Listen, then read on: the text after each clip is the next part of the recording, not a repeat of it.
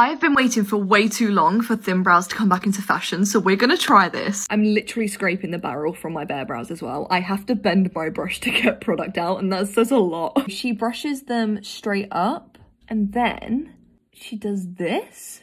Like, look at the difference between that and that.